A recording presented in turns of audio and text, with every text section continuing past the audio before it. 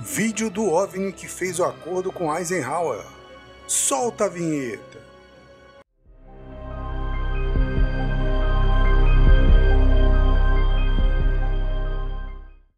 Não deixe de se inscrever e deixar o like. É de graça e ajuda bastante o canal. Vamos pro vídeo. Bem-vindo ao canal.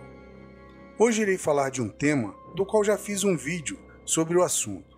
Foi o Tratado de Greata, assinado pelo ex-presidente Eisenhower com os alienígenas na base aérea de Roloman.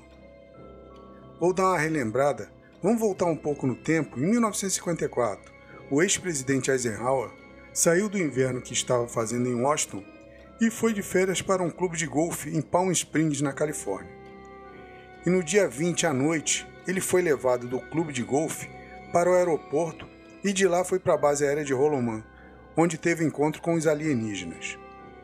Eisenhower e os aliens tiveram uma reunião secreta onde os seres nórdicos falaram que passariam toda a tecnologia alienígena, mas os Estados Unidos teriam que destruir todas as suas armas atômicas, o que foi negado e o acordo cancelado. Meses depois, houve outro encontro, agora com a raça dos Greys, onde foi feito o acordo Greata. Eles passariam parte da tecnologia, mas queriam fazer pesquisas com animais e seres humanos, o que foi permitido por Eisenhower. Este é o resumo.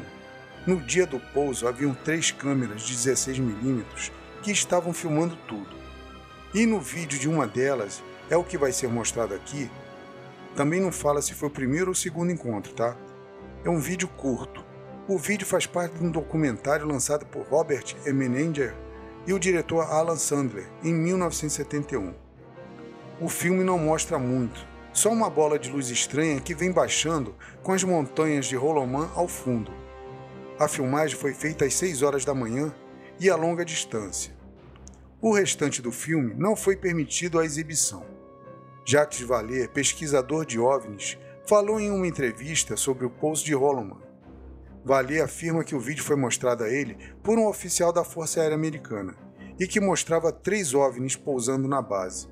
E disse que foi usado um filme de 16mm para a gravação que durou 12 minutos.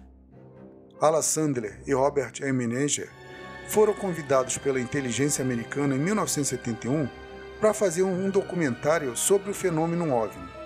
Emeninger disse que foi prometido pelos oficiais da USAF a filmagem autêntica e completa do pouso, mas no final só liberaram 8 segundos de filme. Em 1988, um oficial chamado Paul Chartel, que era encarregado do departamento de áudio e vídeo, deu uma entrevista a Mike Farrell, dizendo que assistiu o filme e que três naves pousaram na base. Uma ficou e as outras duas levantaram o voo, provavelmente para dar cobertura. O vídeo com certeza é verdadeiro, pois a própria USAF quis acobertá-lo, dizendo que eram aeronaves convencionais que estavam pousando com o farol aceso, dando a impressão de que eram naves alienígenas. Mas na comparação, pode-se ver que o filme dos aviões está bem diferente e fora do foco do que o do OVNI.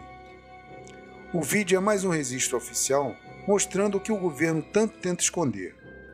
Muito obrigado por assistir, deixe um comentário e encha de likes indique um amigo que gosta de ufologia. Se gostou do conteúdo, se inscreva e deixe o like. E não se esqueça de ativar o sininho. E eu agradeço mais uma vez e valeu!